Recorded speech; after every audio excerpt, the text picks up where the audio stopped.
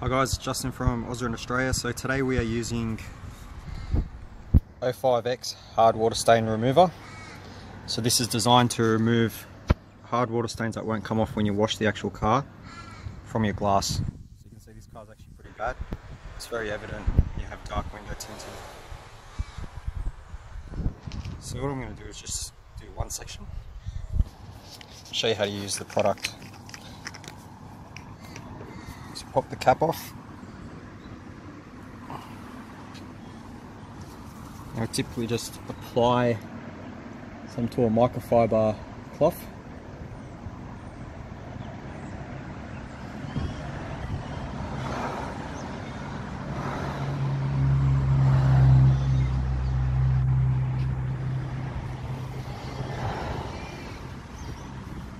And then we'll wipe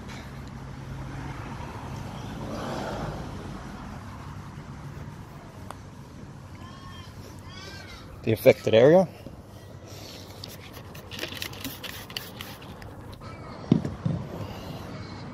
Follow it up. A secondary cloth.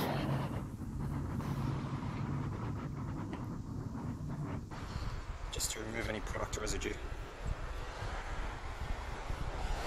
You get a nice clean shiny finish. And there you have it. It's as simple as that. So you can see the water spots are completely removed. Thanks for watching. Okay, so here's the part that's not treated. So the car's just been washed and that's the water spots that are left behind. And here's the section that's just been treated with 05X hard water stain cleaner. So you can see the difference is very much clear. And it's very easy to use, pretty much just like using glass cleaner. So there you have it guys. You can purchase this product.